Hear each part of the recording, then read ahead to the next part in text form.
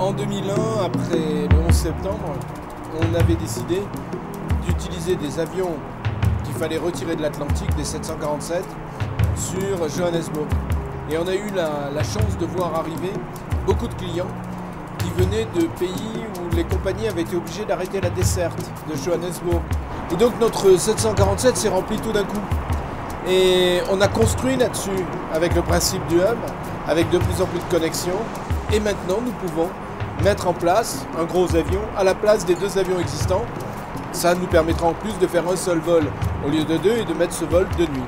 Donc c'est vraiment le hub qui a créé le trafic permettant d'utiliser la 380 qui lui-même, parce qu'il a des coûts plus bas, nous permet d'être efficace économiquement. Vous voyez, c'est un système très vertueux. Ce qu'on voulait, c'était démarrer une autre ligne après New York. On a décidé, après tout, prenons l'opportunité puisqu'il y a la Coupe du Monde, c'est le bon moment, l'Afrique du Sud va être visible, va attirer du monde. C'est bien une destination pour la 380.